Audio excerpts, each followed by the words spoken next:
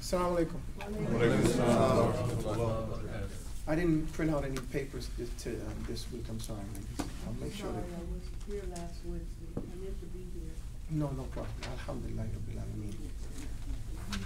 بسم الله والحمد لله وصلى الله وسلم على رسول الله وآله وصحبه ومن اتقى الحمد لله جزاكم الله خير for everybody coming out here today Barakallah fikum. I hope you guys are very excited for your class Alhamdulillah Barakallah fikum.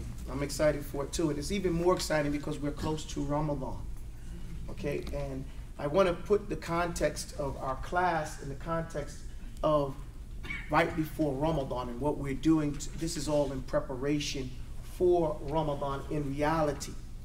I don't mean to be uh, saying this is wrong, this is wrong, this is wrong, you know, but we've done a lot of things incorrectly, okay?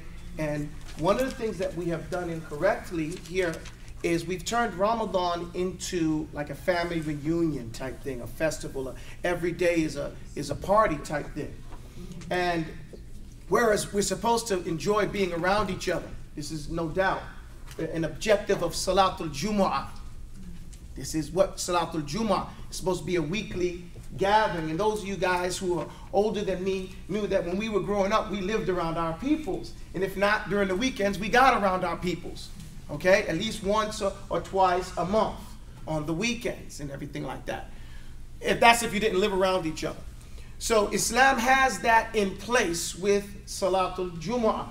That we're supposed to make time, no matter what our schedule is, to make sure that we're free at that time to spend time with one another. And especially in the States, it's vital and important that the women also come to even though it's not fardu ain, because otherwise you'd have no interaction with the community. Right?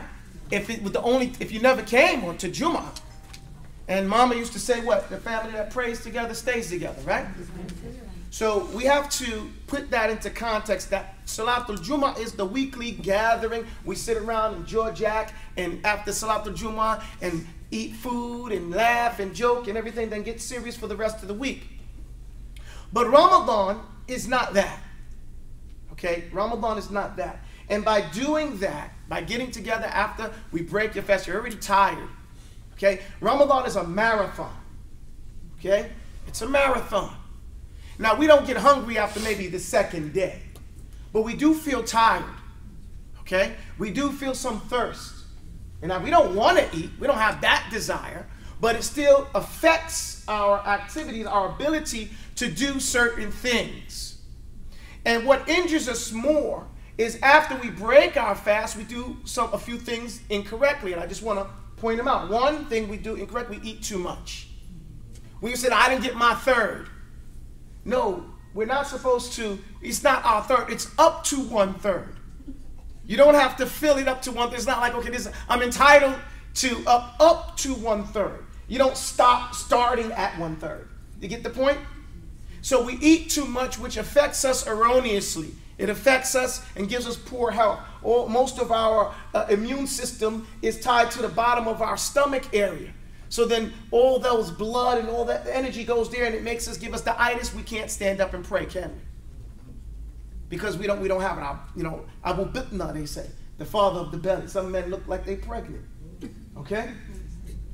So, Alhamdulillah, Rabbil Alameen. So first thing, we don't want to eat too much. The next thing we want to remember not to do is we don't want to talk too much. Okay? Because we didn't come to the masjid to Georgia. Okay? Not for Ramadan. We came to recite Quran and to study the Quran throughout the month of Ramadan. And people are distractions to that. Okay? People come, and I know this happened. A man or a lady come to the masjid with the full intention to sit down and read Quran. After they finish their eating and get ready to go over the rest of that juz that they just got a little bit more to go through to keep on schedule. And then somebody sits next to them, Abdullah or Matullah, and starts talking. And you can't be rude, so you think, okay? And so you start talking to it, then you get off schedule and you don't finish the Quran. Because by the time you get home now, you're tired because you have to, especially the ladies, they work harder than the men. Because while we're sleeping, waiting for suhoor, they're up making suhoor. Right? So we have to go to bed. So we're tired so we can get up and we don't want to miss suhoor. I used to miss suhoor when I was young, when I was 20s. Now I don't miss suhoor. I gotta get me something to drink, a little bit of something to go on. So what I'm trying to say is it's a marathon that you have to plan and keep to your plan. And if we all understand this going in and you prepare for those difficult conversations, saying, Pardon me, sir, pardon me, ma'am, I really got to do this reading. Please. And you position yourself so that you're not open to speak, like facing the wall. When I had an office, you know, at, at school, at Islamic school in Kansas City, I took my, my, my desk and I made it face the wall. So someone came in, I had to turn all the way around. And they see, and I would sometimes turn back around to like, like uh, yeah, I'll, I'll get back to you. You get it? Because I couldn't do my job, you know, with my books to, the, to, the, to, the, to my back. So we have to do those types of things and just make it aware that we should be prepared for that. Does that make sense? Yes. And hopefully we'll get through Ramadan fulfilling the objectives that we set for ourselves. Insha'Allah ta'ala. That's number one. And the number one objective of Ramadan is to end Ramadan knowing more meaningful meanings of the Quran than you did when you started. Because the Quran is our ammunition, okay, that we use to argue with our egos. Okay, when we have that, we're talking back and forth.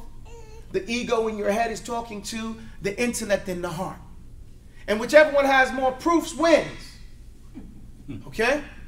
One that has more proofs is going to win. The ego in the head says everybody's doing it. Gives all the modern modern reasons. It's not it's a new era, right?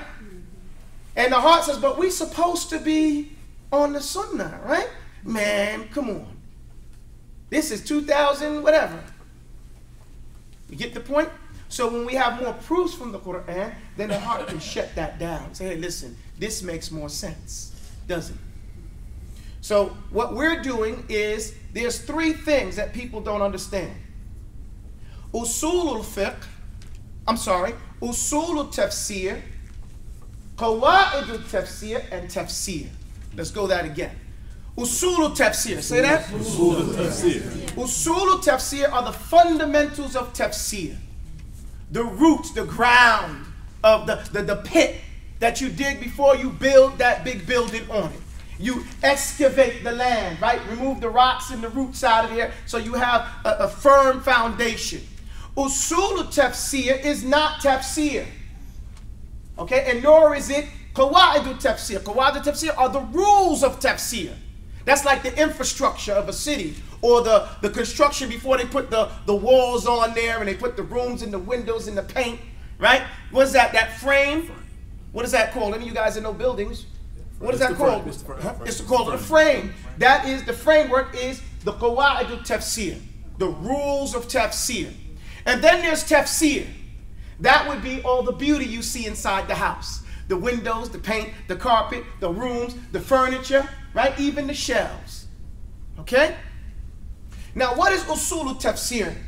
Usul tafsir takes you from being a novice to becoming a beginner to becoming an arif to becoming an alim. Familiarity. It gives you history. That's what we're doing here.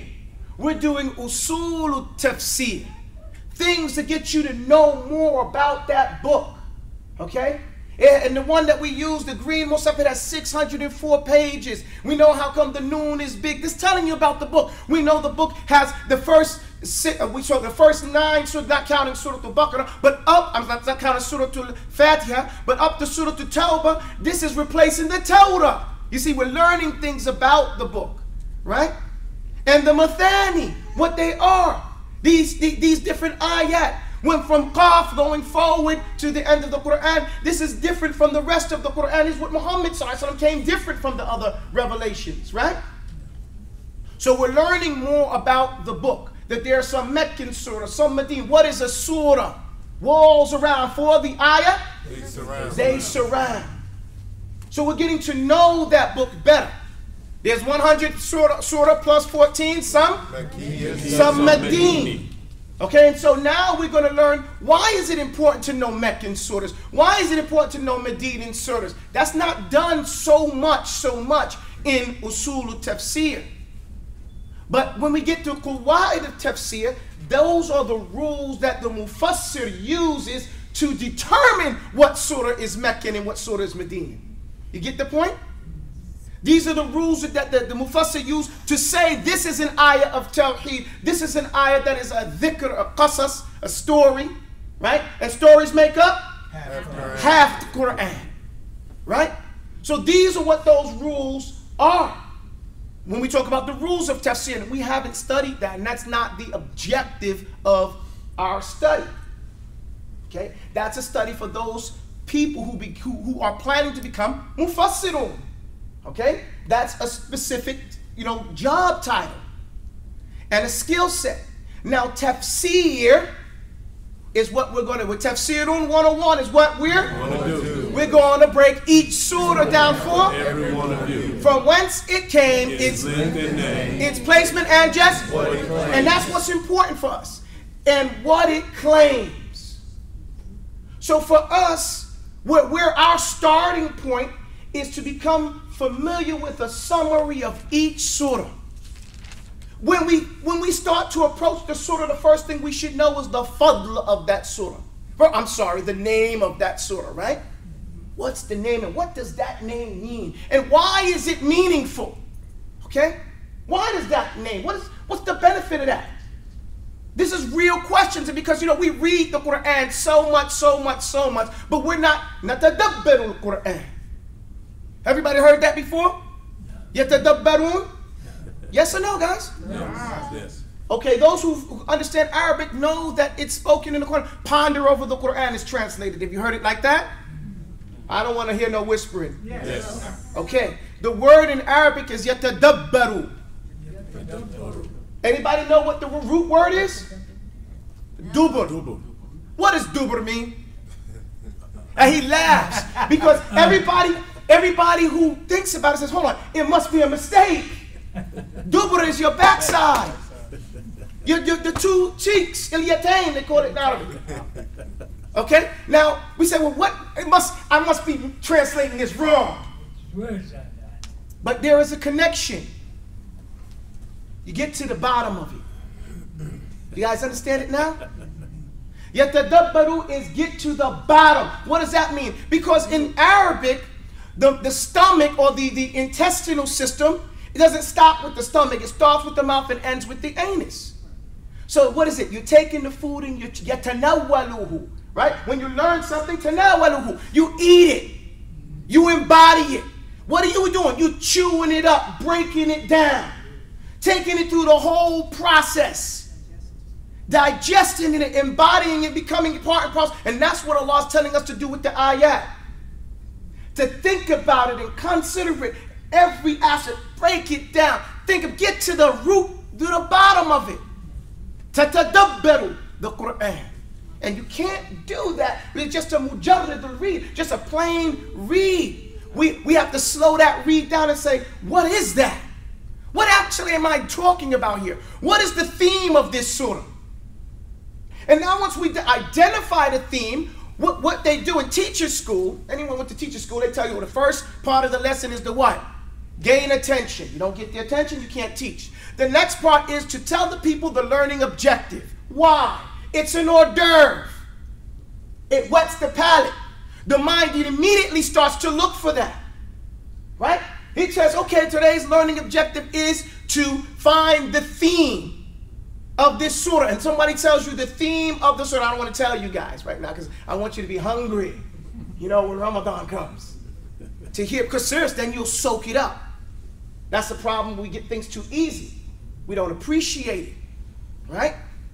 So then I tell you the theme of the surah. Now what your mind is going to do. Anybody going to tell me? What you're going to do when you're reading? You're looking for it. Your mind is trying to find ways to connect that theme with everything that it's reading, right? And that's what's supposed to happen. Because then you'll find it. The mind works on conspiracy theories, right? Put this together, not together, and then we start to see, oh, I see how this, this surah is pointing to that theme. especially after we summarize it and go through the sequential order of the Quran, of those surahs, and show how it leads up to that point and how that point is consistent with the first point. This is called tafsir al-munasibat, which means a sequential order of tafsir where it shows you the connection, okay, the nisbah, how it's all related to one towards the end. Does that make sense? And that's what our angle of tafsir is going to be in general.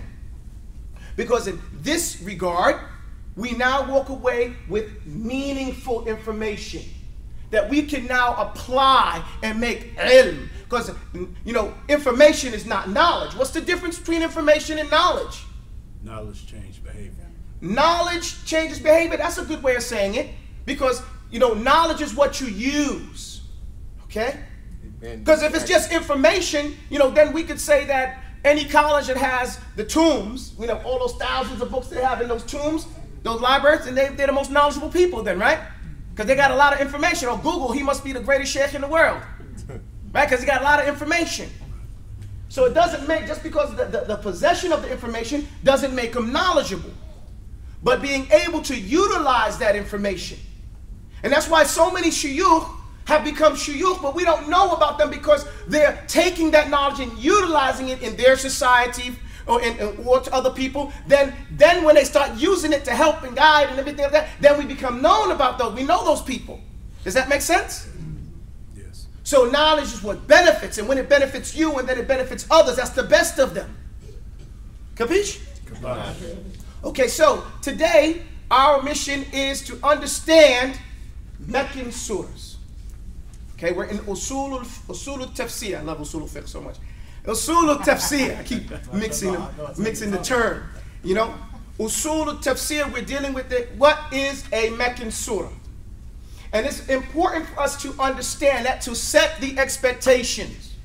Okay, our expectations of what to do when we see what to expect from a Meccan surah. So we begin the poem. We say Bismillahir Rahmanir Rahim. 80. Bismillahir Rahmanir Rahim. 82 before migration. 82 before migration. Meccan Surah sparked the nation. Meccan Surah sparked the nation. That's our opening line. Now, automatically from the beginning, you know how many Meccan Surahs are there? 82. 82.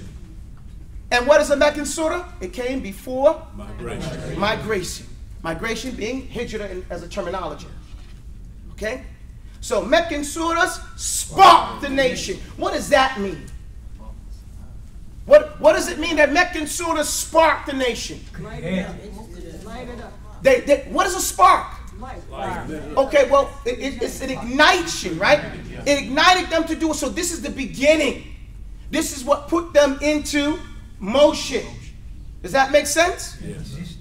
Sorry? The existence. Begins the existence of the of that this quote unquote nation. Okay? And so that tells you the tone of the Meccan surahs. That the Meccan surahs, first of all, they came before migration. Now I want to make a point. There's 12 surahs of ikhtilaf amongst the senior scholar staff. Meaning there's 12 surahs that there's ikhtilaf, whether they are Meccan or Medinan. Why? I'll tell you that now. The reason why there's ikhtilaf is because the definition of a Meccan surah before migration, right? But migration was a year, wasn't it?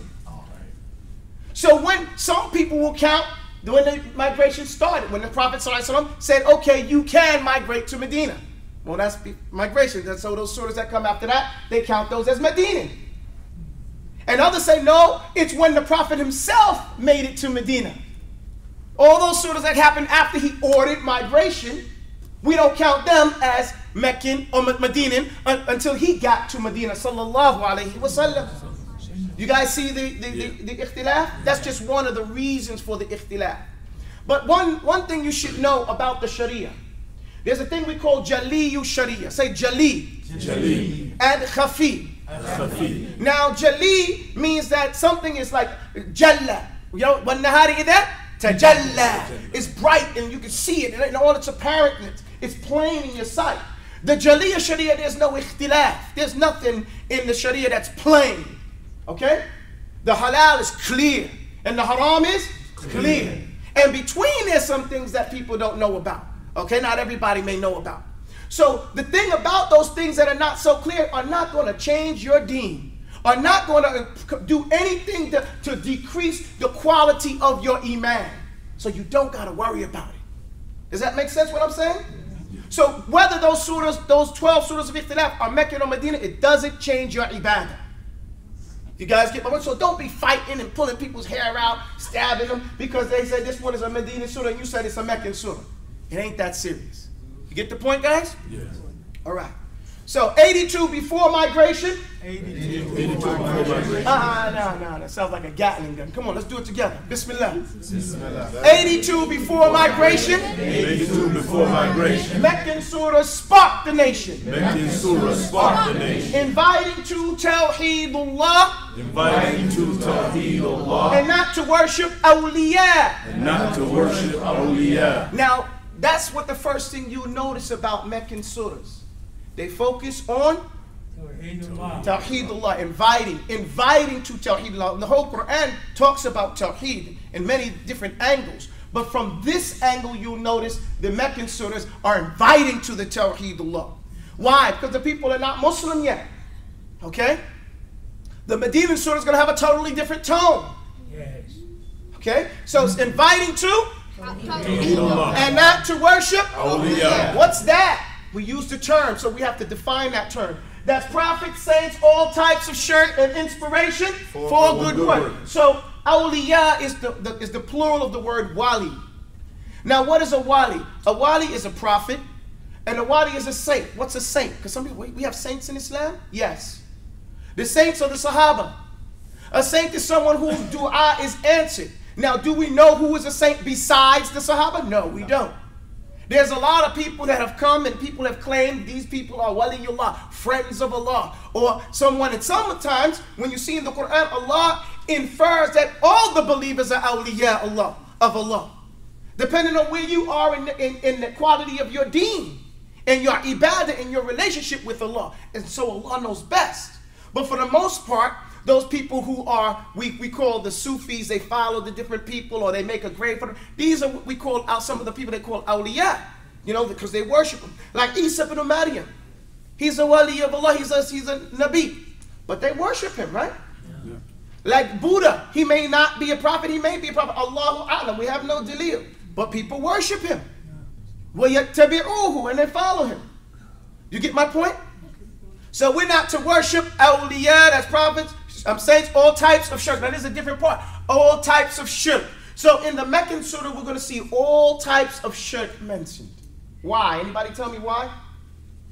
Why do you think a lot of all the different types of shirk are mentioned in the Meccan surahs? Because that's what, that's, that's, what, they, that's what they were doing. So they're pulling it to, they're bringing it, we're going to get to it because they're bringing it to the, the, attention of the person that's doing it. Sometimes people do things droning along and they're not paying attention to what that actually means, right? And why, they, why am I doing this? They might say to themselves. And when someone mentions it to them, and then they can reflect and maybe in on their own come back. And we, we hope that people come back and follow the proper deen of Allah subhanahu wa ta'ala. And inspiration for good work. And inspiration for good work. Again, and inspiration, inspiration for good work. So here we're being inspired to do good deeds. Amalu salih. No real actions are being told, specifics. Okay? Just do good. Why is that? Because the salah is not yet. No, all the different acts of the Sharia have not been established yet. Okay? So there's an there's a build-up. Now, this is another reason why we say learning the surahs and learning the Quran are two different things. Okay? Because when you once the Quran was finished in the order that we have it in, it is a miracle. And when it was coming down, it was miraculous. So it's an ongoing miracle in every aspect that it came. And this is why they call it inimitable. It's unable to be, you know, imitated. You can't count the many, many ways that it is blessed. And so they can't fade it. Okay? They can't do it. No, they can't do it.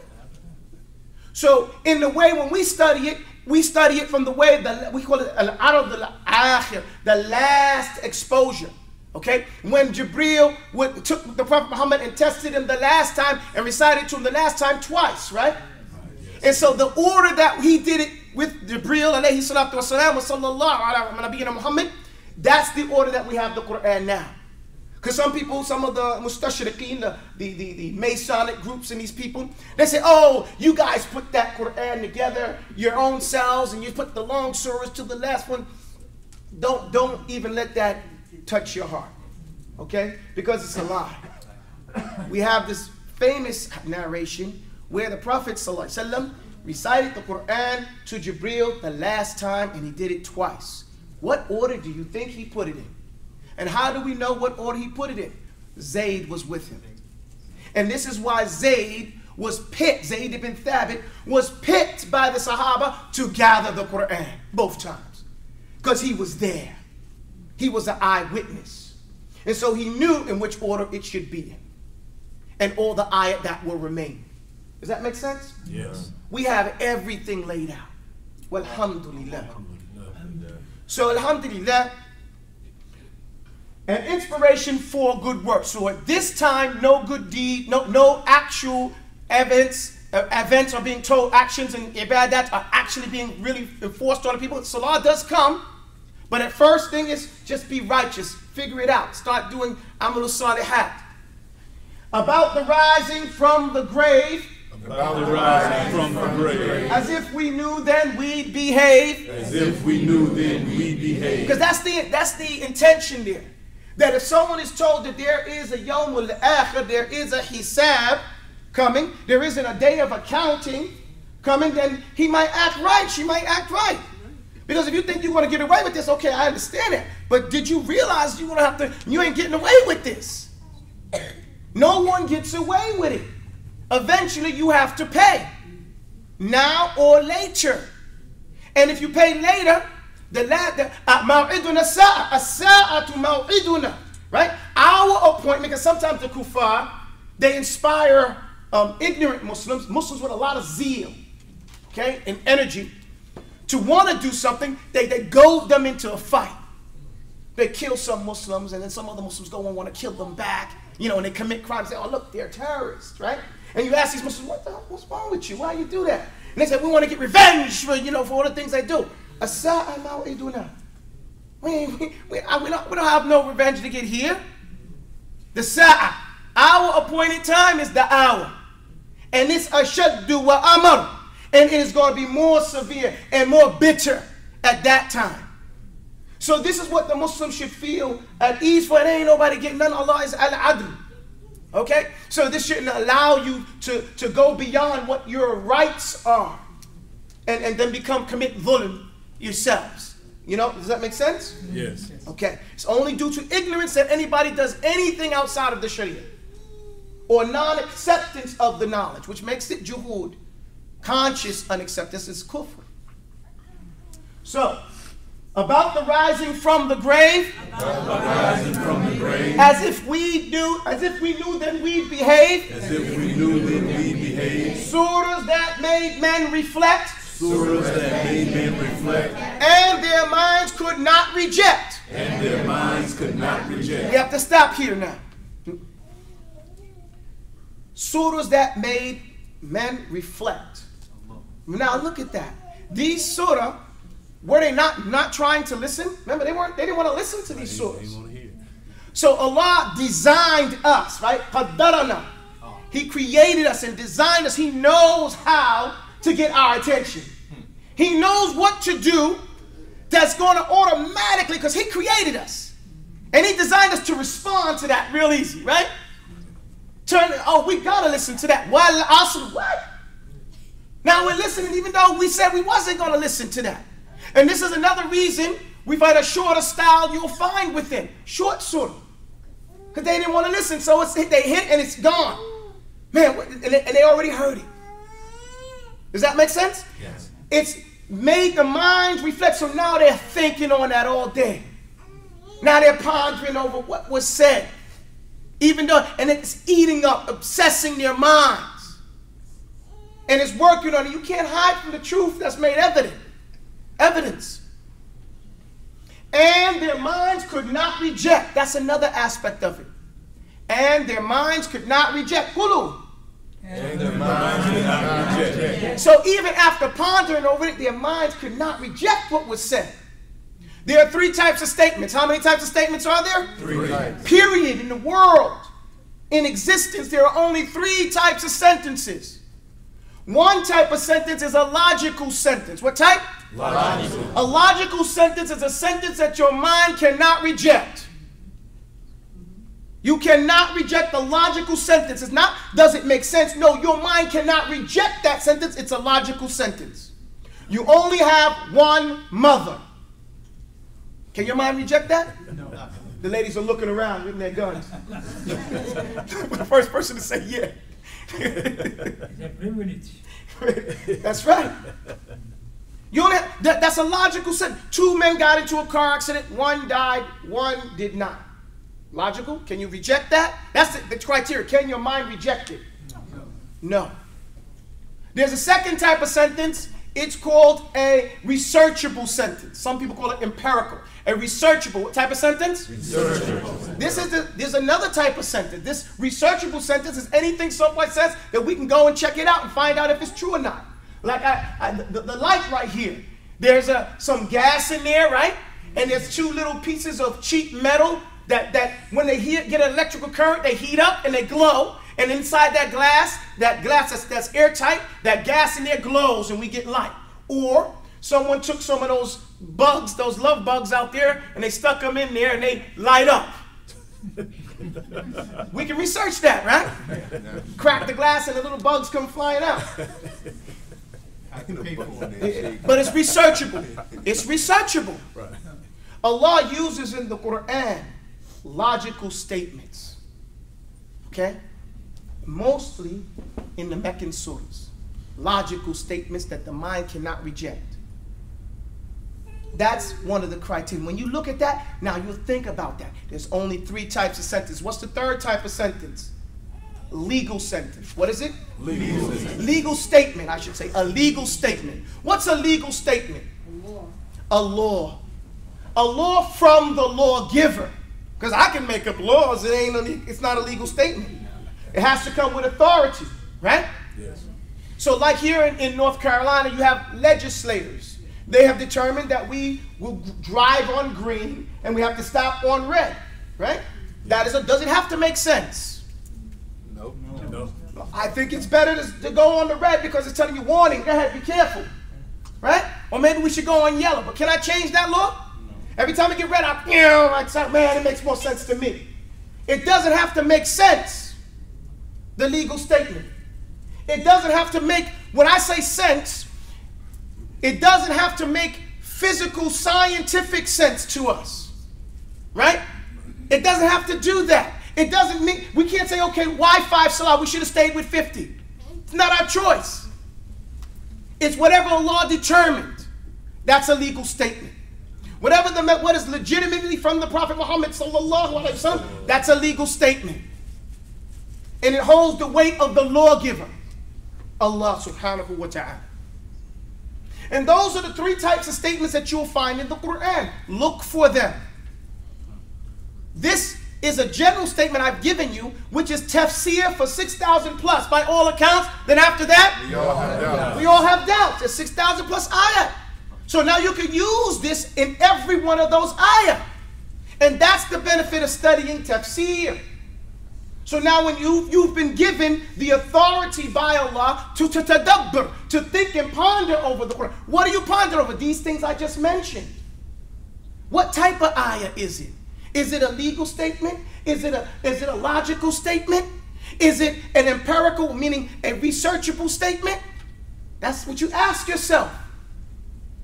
Does that make sense? Yes. 82 before migration, Meccan surahs Spark the nation. inviting to Tawheed Allah and not to worship. Awliya. That's prophets, saints, all types of shirk and inspiration. For good work. Keep going.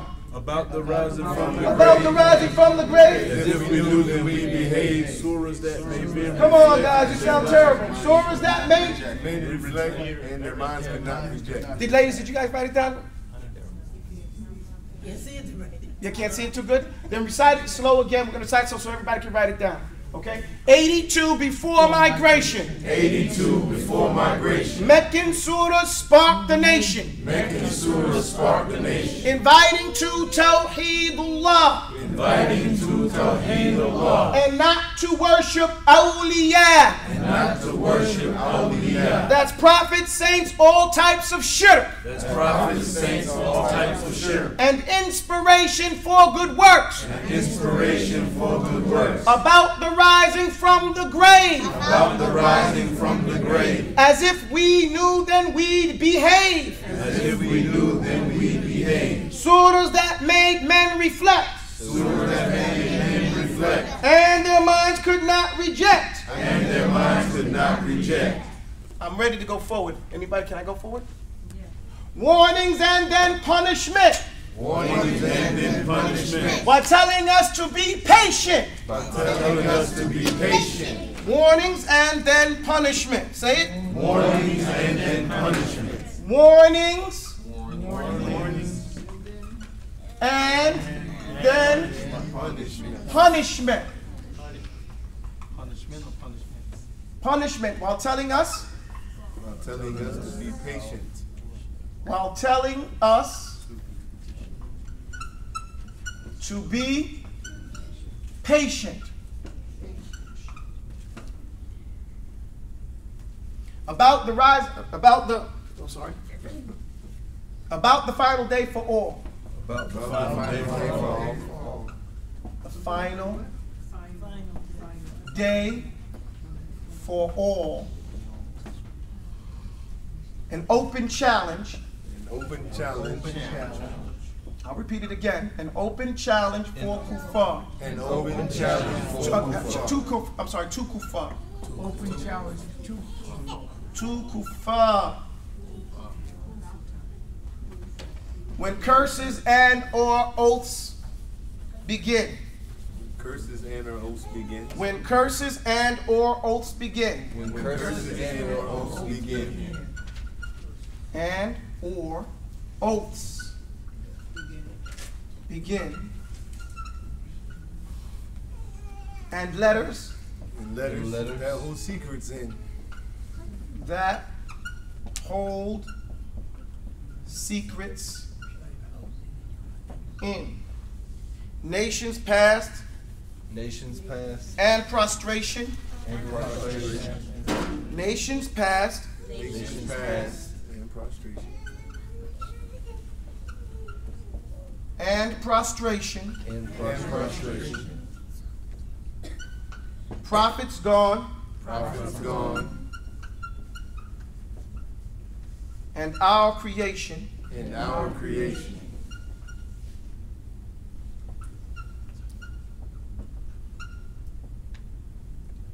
Kalla Kalla. with its strong negation With its strong with its strong negation With its strong negation. these all came These all came before migration before migration. now even though usul tafsir is the history we do give some a few rule here and there for you to use as an example as we do here. And there's another rule that you have to understand. When we say something it's aglabiya meaning more mu'dam al most of the time. Because every time we find an, a, a, a, an exception people say i thought you said this is the majority of the time this will be the case. There's going to be exception here and here but because something is an exception doesn't break the rule does that make sense an exception does not break the rule. So these are the rules warnings and then punishment. There's a lot of warnings in the Meccan surahs because you got to remember what's being what's happening here. People are being called and then they're being threatened. Okay? And then they're being told, hey, I'm telling you this, there's going to be a punishment. If you don't follow, it's going to be punishment. While telling us to be patient. Who's us? The believers.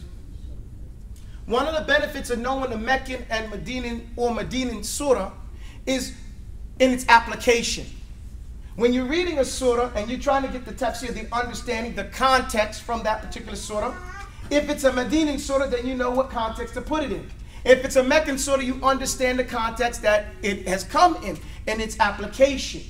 And then you can look at your lives. Us here in the United States, what are we in? What phase are we in? Are we in a Medinan stage or are we in a Meccan stage? We're in a Meccan stage. Not that we don't have to follow the Sharia, but in the aspects of people in the Meccan stage had to take what they call Shahada to Nisa. What they call it? Shahada What does that mean? Pledge of the woman. The pledge, the, the, the Shahada of the women. The men had to take this pledge. Do you know what Shahada to Nisa means? What, what it implies? That there's no fighting. That the men that come to Islam, there's no fighting in, in, involved in their pledge. Where the people, when they made the pledge to the Prophet in Medina, fighting, defending, was part of the pledge. That's why when the Prophet and Abu Bakr showed up, what did they first go do? They went and got their weapons on. And they rode out there to meet him to show we're ready to fulfill our pledge. Okay? When they got to uh, Uhud, he said, maybe you think they're gonna we're gonna tell them like they told, you know, the other people that you know, you and your your your your you and you, Musa, you and your your, your Lord, you go to fight. Now we got you. We here with you. We're gonna keep our pledge in that regard. But that was in the Medinan stage. Why is that vital?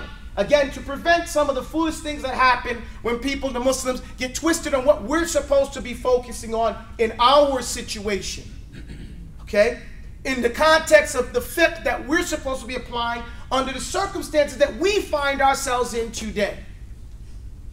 And fiqh changes from place to place. The best example of that is Imam Shafi'i.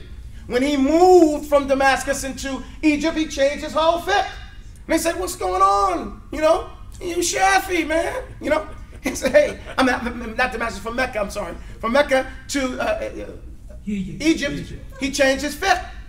He said, Hey, I'm not, I'm not there anymore. I'm here. You can't ask me, I can't, personally, just here in the United States, you can't expect me to act like I do act in New York City, down in North Carolina. That'd be crazy. New York has a 45 second minute. You know? North Carolina has a 75 second minute. There's a humongous difference. You know? There's a big difference in that.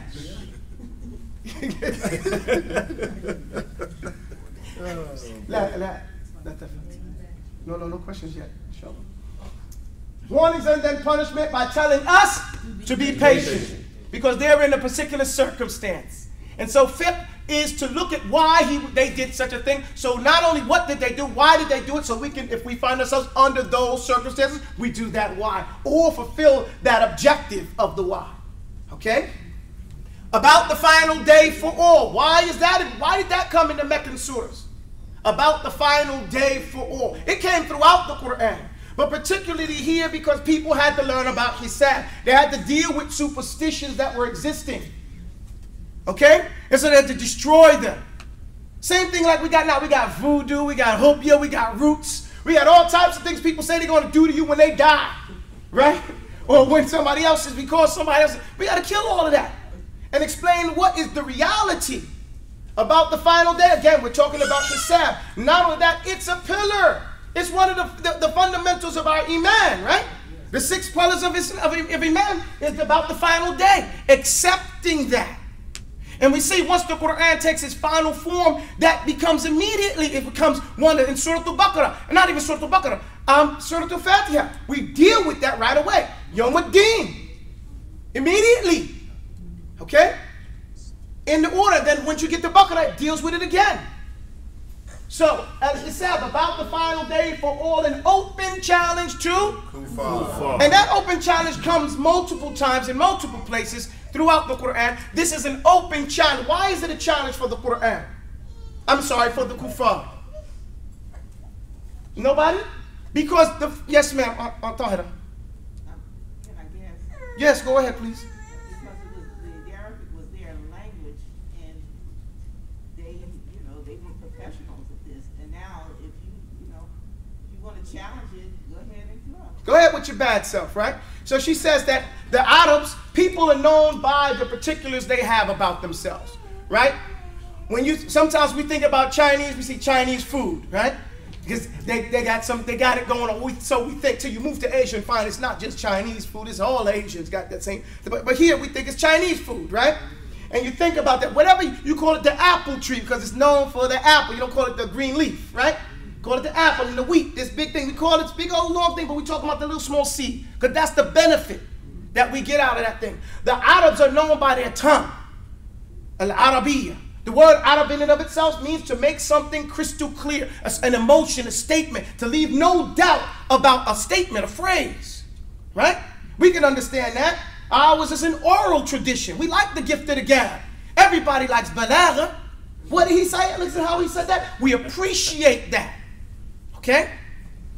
So the challenge is, like Antayana said, look, if you all of that, you professional speaker, then you say this is a not from Allah, then bring something with it. And look, in actuality, in the tafsir of the Quran, in the seek of the Quran, the, the order of the Quran, that is the first thing you're asked to believe in. Did you know that? After you get out of Fatiha, let's, let's travel through the Quran, okay? In the general terms. Al Fatiha, the theme in Al Fatiha, I know I'm cheating, give you a preview for, for Ramadan. The theme in Al Fatiha is one of the themes is how to ask for help. Everybody with me? Yeah. You want guidance? I always imagine it's a cat from Harlem or Brownsville or Bed-Stuy. He believes in Allah because we got a lot of guys, they believe in but they just don't trust nobody. Okay? Who are we going to trust? The slavers? Jim Crow? We don't know what to believe. Reverend Pork Chop? No, no, seriously. So, so the man is like, yo, well, I believe in some, I know it's a law, but I don't know how to get there. And I don't know what information to, to, to do. Do I trust the Arab guy, man? He's selling pork and beer at the store. I don't trust his sincerity to tell me nothing. So what do I do? Allah answers that question in Surah Al-Fatiha. That's just one of the things he does. So we say, eh, Ihdina, guide us. He teaches us. And we can get into that, but I'm not going to. We move on. Baqarah starts. And the first thing it says is, ذَلِكَ kitab." La raib. There's no doubt about raib is different from shak.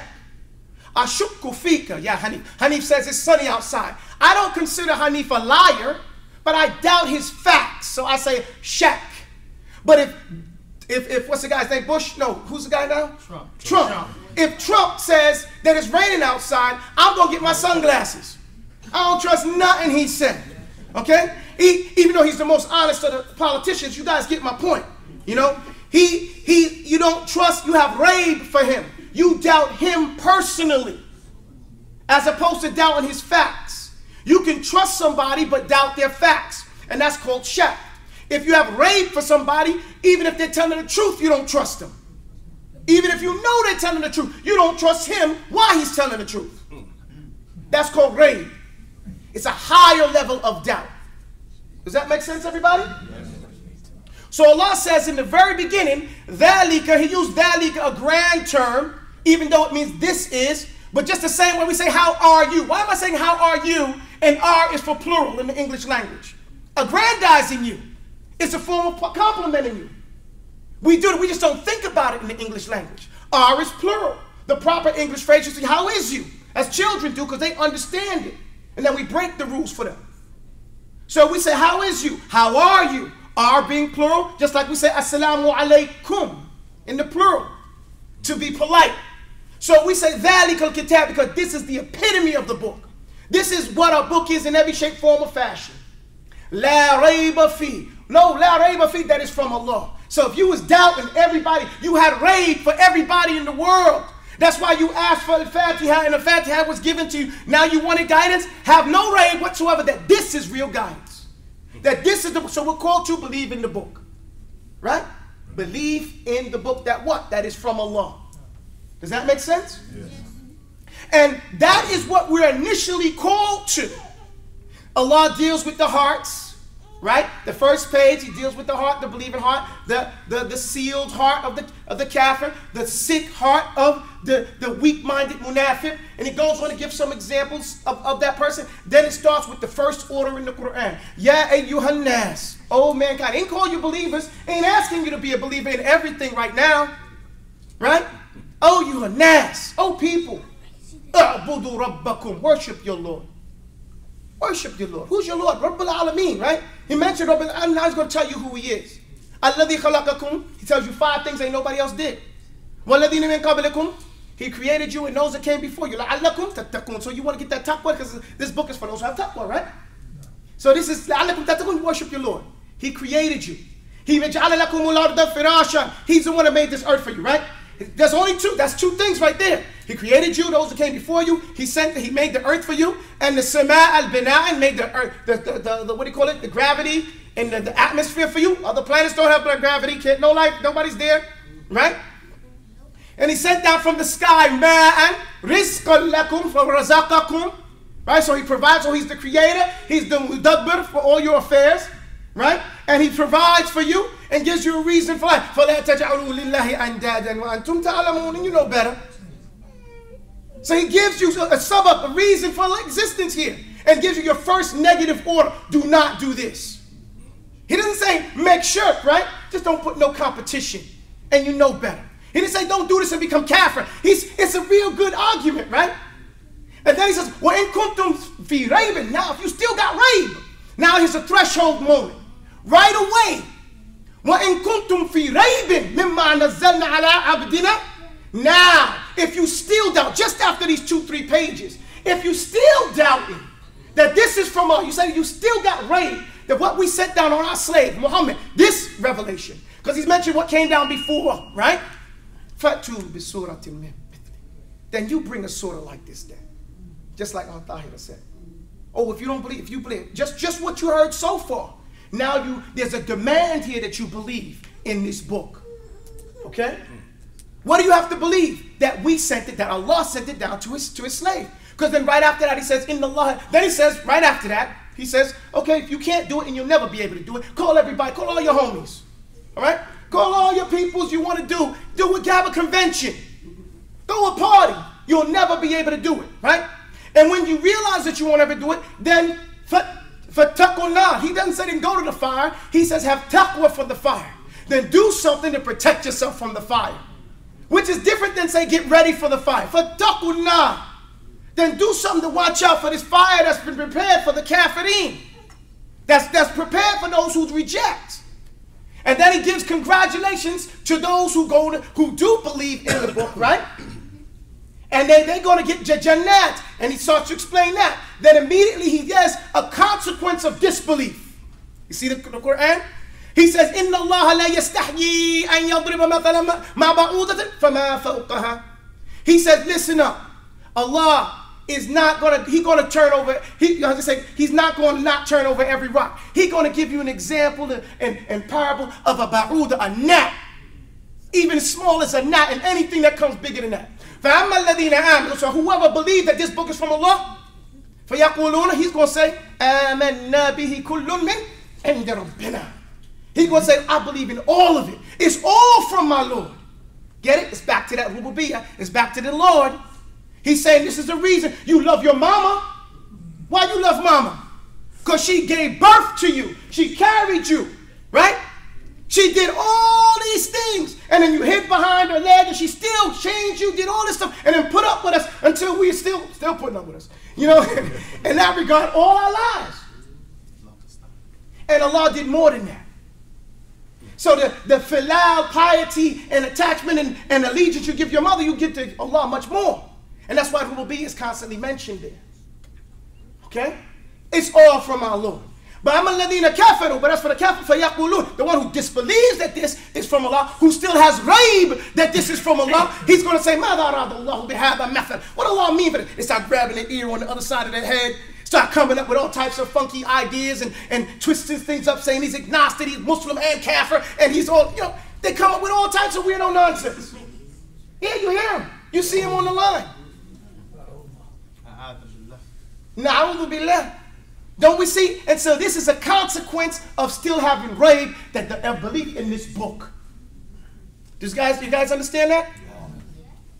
I'm sorry, I shouldn't have done that. We should have waited for that. But inshallah ta'ala.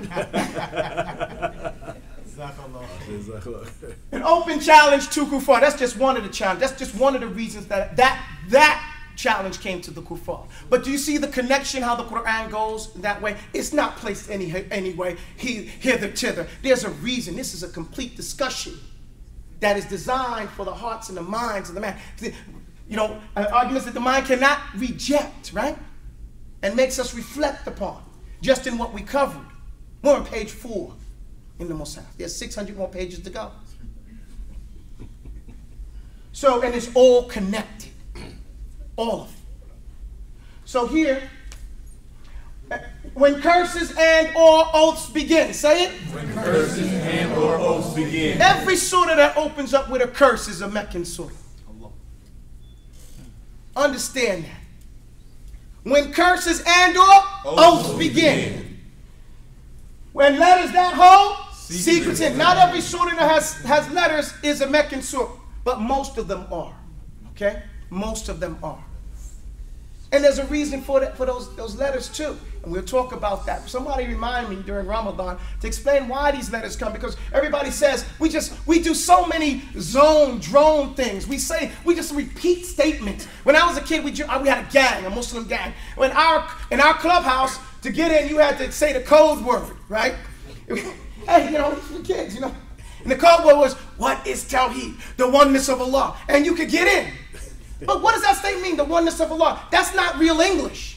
You saying something, but you ain't saying nothing. You get my point? We start repeating terms that we don't even understand the meaning of.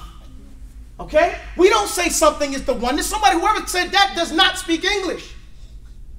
We don't say someone how, oh, look how oneness he, he- she looks today. We say how unique she looks today.